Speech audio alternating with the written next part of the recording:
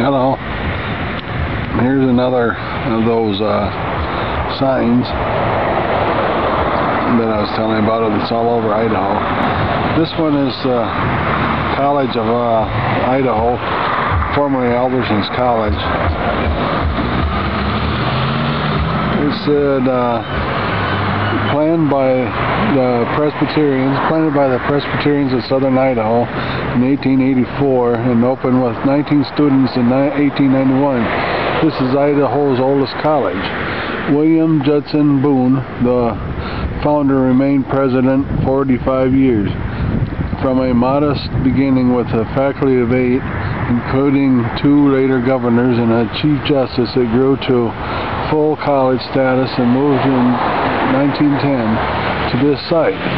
When all, uh, uh, let's see, then uh, in the Alkali Desert, a Boise Valley Electric Railroad served the college and the interurban station.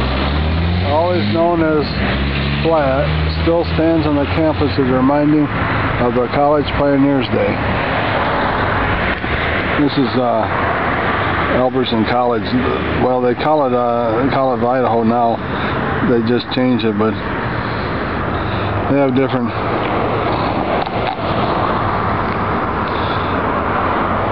buildings and stuff. It's in Caldwell, Idaho, right here on the Cleveland Boulevard.